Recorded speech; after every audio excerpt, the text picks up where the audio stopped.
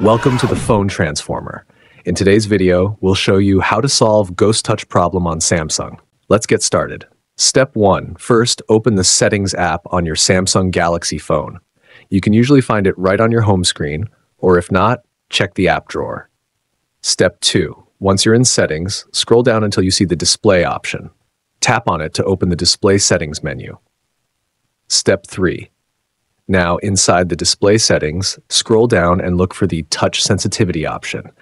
Make sure this feature is turned off as high touch sensitivity can sometimes cause ghost touches. Step 4. Next, still in the display settings, find the accidental touch protection option. Tap on it and turn it on.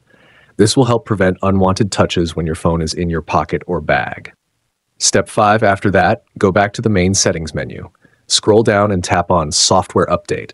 Then, click on Download and Install to check for any available updates. Wait a few moments while your phone searches for updates. Step 6. If an update is available, make sure to install the latest version. Software updates often include bug fixes that can resolve Ghost Touch issues. Step 7. Once the update is done, go back to Settings again.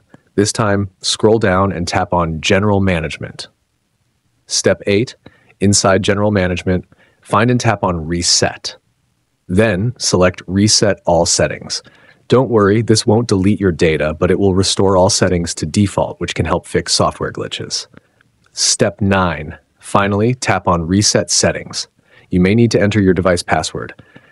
Once confirmed, tap Reset. Your phone will reset all settings and the Ghost Touch problem should be resolved. Thanks for watching, and please subscribe to the channel.